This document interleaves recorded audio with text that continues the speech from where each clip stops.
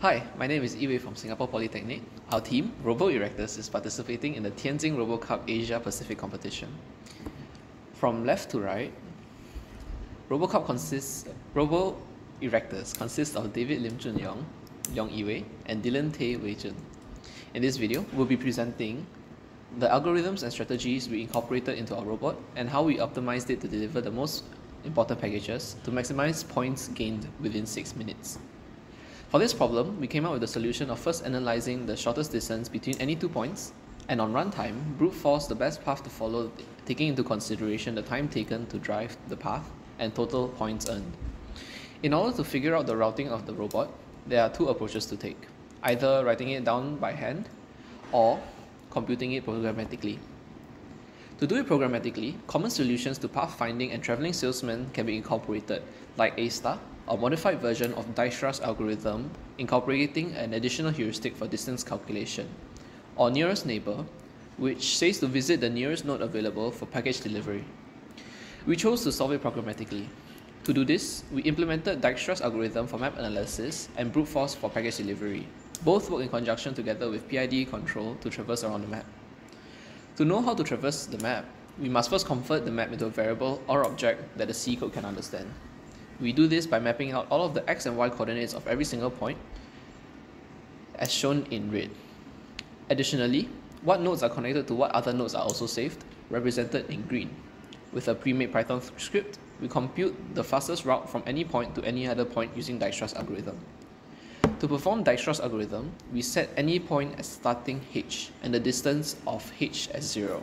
All other points will be infinity. We visit the point with the smallest distance that is unvisited and compute the distance of its neighbors. If the distance is smaller than the one that is currently saved, we replace the new distance with the new calculated distance. Repeat this step until all of the nodes have been visited. Once all of the nodes have been visited, we are finished with one set of the pathing. So we have to repeat steps 1 to 5 for every single node on the map. This gives us the shortest path from any one node to any other node. Weighted edges can also be added, such as the, for the roundabouts or the bridges. To perform brute force, we set in a max array of 7 points for every packaging and for returning back to the collection center. We can then calculate all permutations of the array and estimate the points and time taken to travel to said permutation. This calculation will be for worth. Calculating worth for every route using a variable k, we can generate the fastest route to optimize the amount of points to time ratio. Now I'll let David explain the driving and PID controls.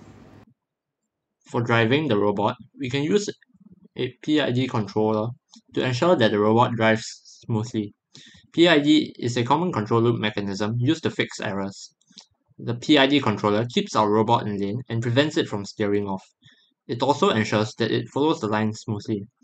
It does this by measuring the error, which is the distance our robot is from the line, and then it calculates the required amount of steering to get it back on track. The PID controller consists of three parts, the proportional, integral, and der derivative. The proportional part changes the tuning the turning speed proportionally with the error. The integral prevents a steady state error by summing up the error from the start until now. Lastly, the derivative allows us to prevent the robot from oversteering by finding the rate of change in error. For the selected solutions, we ended up using the Dijkstra's algorithm to find the shortest path between points and the brute force method to find the best delivery path that will give us the most amount of points in the shortest amount of time. In order to save more time, we also used PID control to help the robot drive more smoothly. In the end, using these methods, we had improved results. Using Dijkstra's algorithm, the robot would find the shortest path between two points on the map, which is more efficient than if the path was manually coded. The brute force method also allowed us to find the best path that will give the most amount of points in the shortest amount of time. The result was improved as we gained 1500 points, which is 100 more points than what we got using the hand-coded path. Additionally, the PID controller allowed our robot to remain centered throughout the run, thus saving time by making it faster. At the end of the day, we had learned much from the preparation for this competition. Some of the things we learned include how to better communicate and collaborate with each other, critical thinking and problem solving skills, risk assessment, and decision making. We also understood more about our own skills and how much we could improve on them.